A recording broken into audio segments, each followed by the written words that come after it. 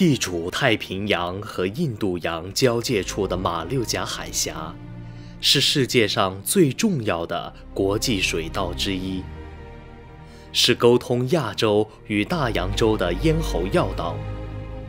控制了马六甲海峡，就扼住了世界的咽喉。因此，马六甲历来都是兵家必争之地。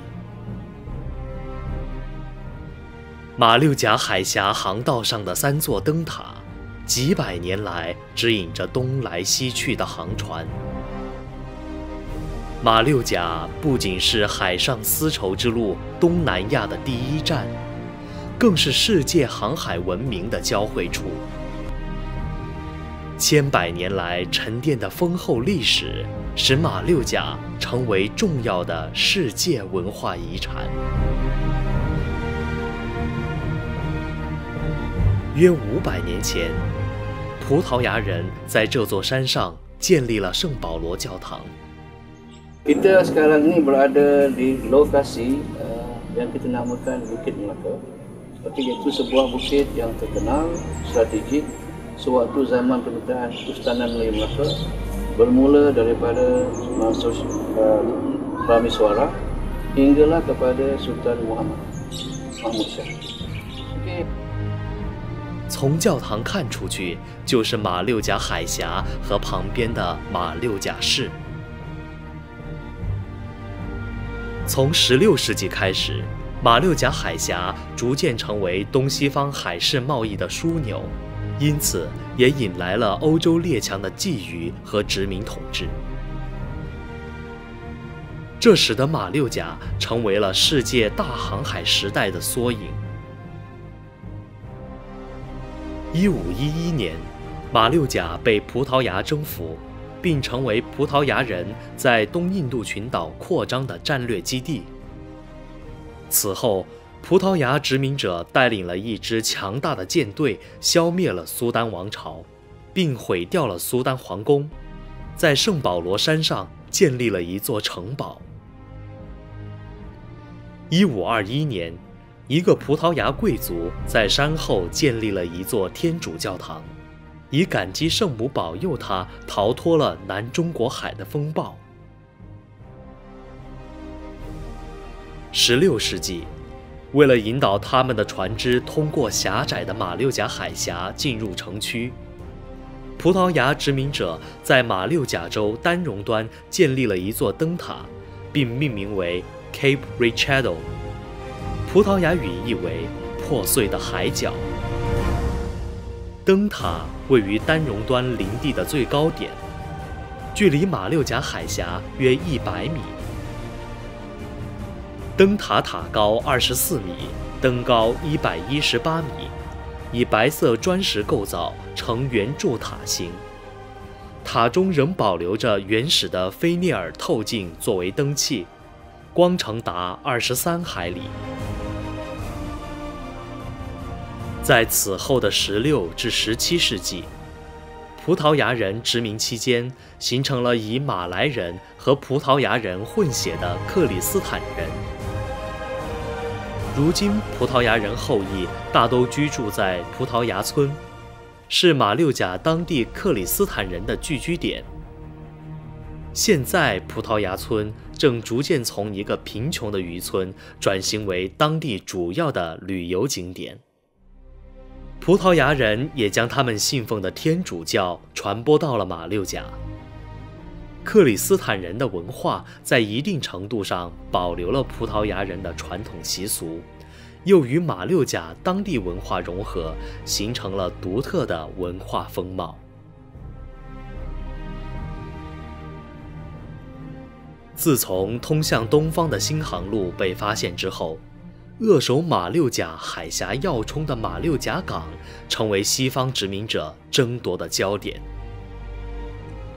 17世纪初，荷兰人成立的东印度公司被赋予占领东方商业市场的使命。18世纪中叶至19世纪初，在英荷两国为控制战略要地马六甲海峡进行了长期争夺之后。双方于1824年在伦敦缔结《英荷条约》。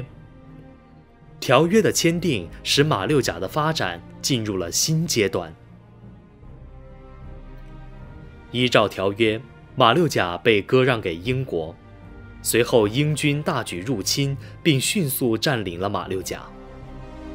与之前的葡萄牙人、荷兰人相比，英国人。在马六甲灯塔的建造上有最多的作为。一八二零至二五年间，英国人在圣保罗山的荷兰钟楼上加建了灯塔，也就是今天的马六甲灯塔。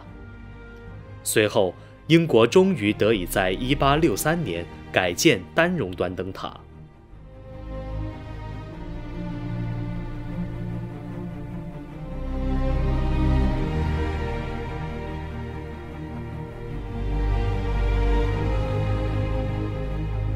为了扩展更广阔的水域，英国人在1880年于乌丹岛上修建了马六甲的第三座灯塔。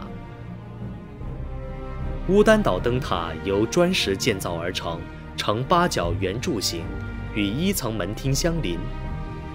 这座灯塔原先采用的是 Chances Brother 的光学灯器，现在已经改用 LED 灯作为照明。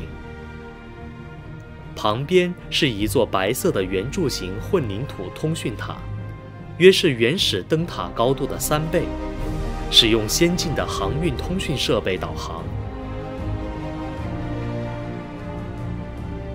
这是一座体现了人与自然和谐相处的灯塔。灯塔手居住在塔里，房间下设有一间储藏室，且在户外设置了可持续储水装置。使用水缸储藏雨水，并通过过滤系统净化。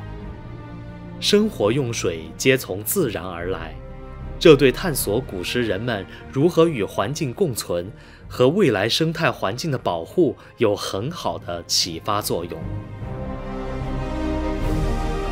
早在西方殖民者到来之前，大明王朝的船队就已经到达过马六甲，并在此建立了贸易基地。一四零五年至一四三三年，郑和七次奉旨率船队远航西洋。在世界远洋航海史上，他们的航行早于地理大发现的航海家们近一个世纪，对中国海上丝绸之路的航海技术做了重要贡献。据《明史》记载。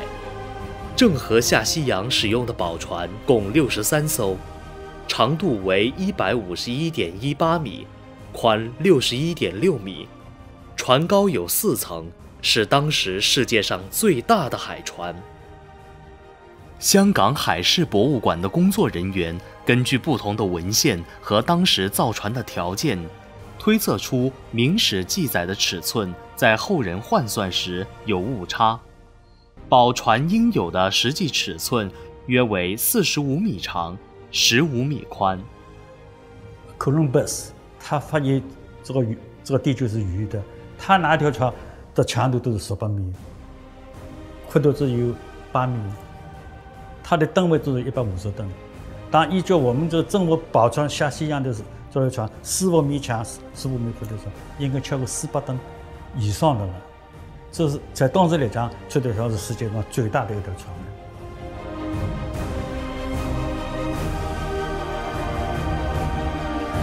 当时郑和使用的天文和地文航海技术，代表了那个时代的世界先进水平。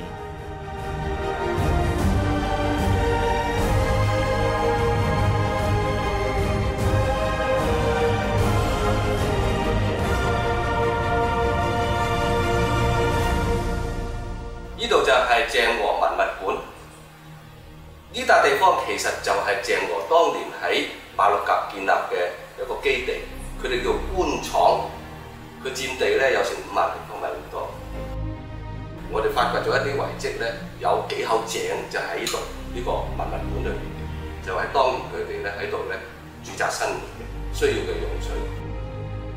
鄭和喺度駐紮嘅時候咧，當時嘅國家叫做滿次家，滿次家王咧就向佢表達咧，北方有個暹羅國咧好強大，經常都欺壓佢哋。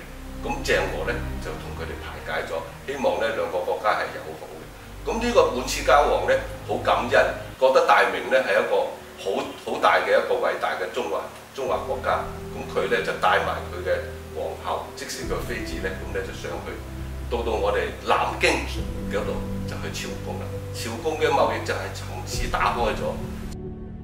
鄭和的海外航行宣示了明朝的威儀，也為明朝帶回了滿刺家的香料、藥材和異域文化。鄭和及其船隊的到來，不仅带来了东方的文化与物产，还让马六甲获得了明朝的庇护和友好邦交。免于遭受邻国的侵扰，社会趋于稳定，经济蓬勃发展，成为了当时世界最重要的港口之一。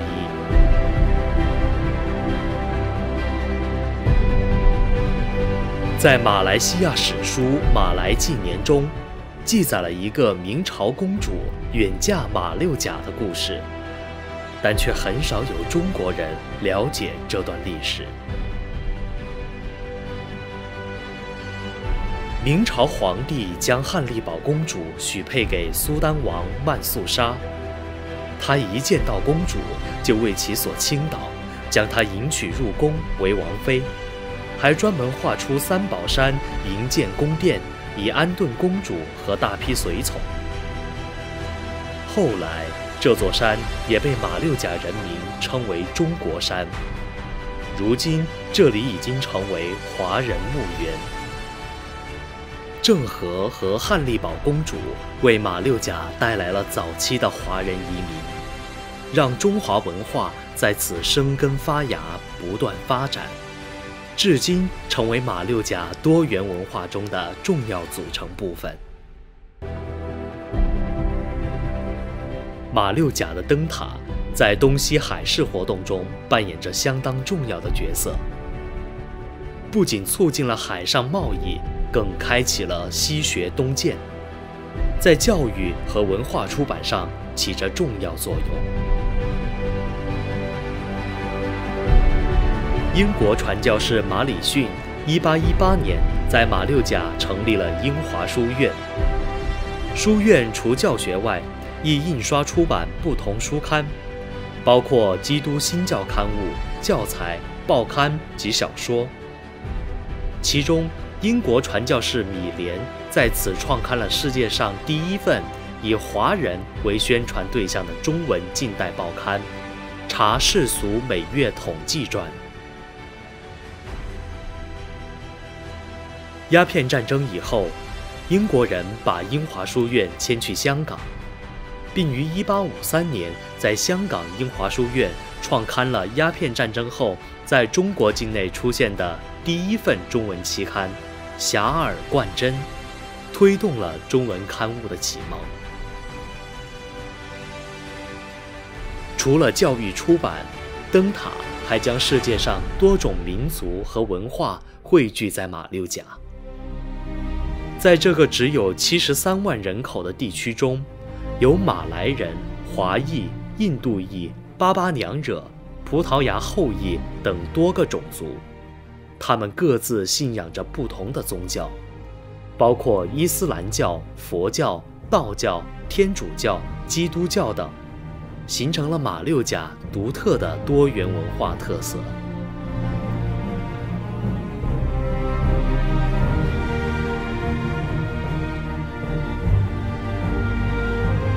随着时间的流逝，各国殖民者早已离开了马六甲。但他们来过的痕迹却深深地刻在当地的建筑风格中。葡萄牙的建筑，如圣地亚哥古城门和圣保罗教堂，以曼努埃尔式风格为主。虽然大多建筑由于多年战乱已被破坏，但其鲜明的风格仍然成为了马六甲独特的风景。在所有的殖民者中，荷兰人在马六甲留下的印记最为深刻。一六四一至六零年间，荷兰人在马六甲河畔建立了荷兰红屋。这是东南亚存留最古老的荷兰建筑物，也成为了马六甲的地标。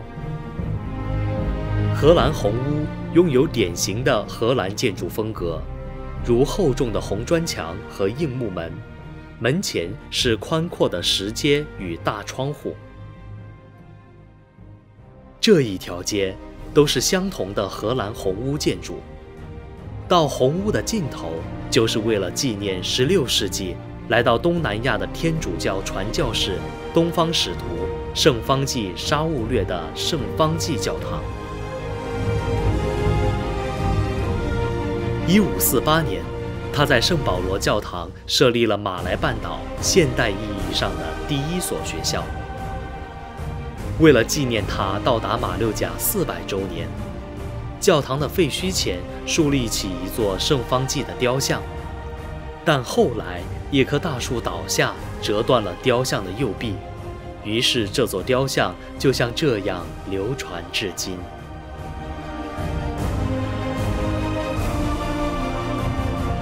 如今的马六甲荷兰广场游人如织，也许只有这与东方迥异的建筑风格在提醒着人们。这里曾经发生过的一切，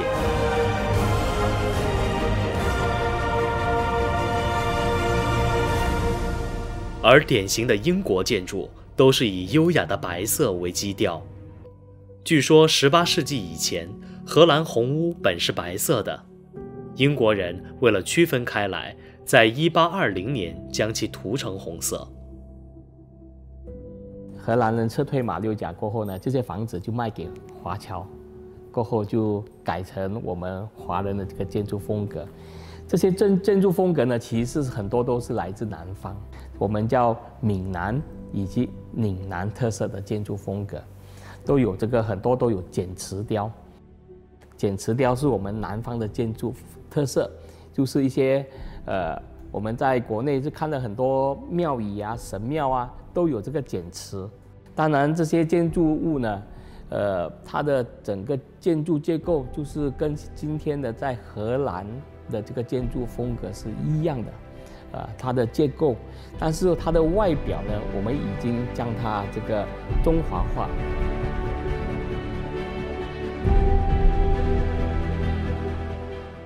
作为蕴含着马六甲航海历史的旅游资源。如今，丹戎端灯塔已经成为一个由政府向公众开放的著名旅游景点，并在下层设置了一个博物馆，以留存不同时期的灯具、机械设备以及自动感应装置，向游人介绍灯塔的历史。马六甲“一带一路”专案中提到，在马六甲海上清真寺旁将建立一座新灯塔。来指引大型游轮进入城区。这说明，即使是在现代社会，灯塔仍能帮助城市振兴经济。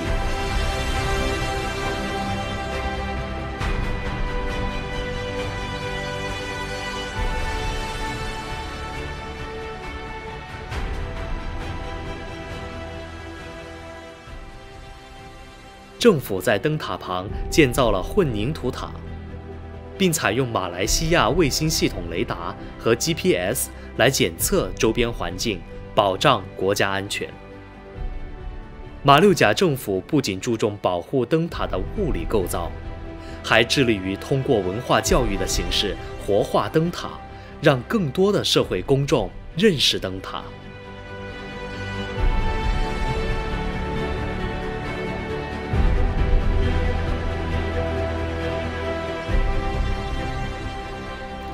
随着科技的发展，灯塔也许会被新的技术渐渐取代，但它不应被遗忘，因为它不仅仅是世界咽喉上指引航向的明灯，其背后更承载着马六甲几百年的兴衰。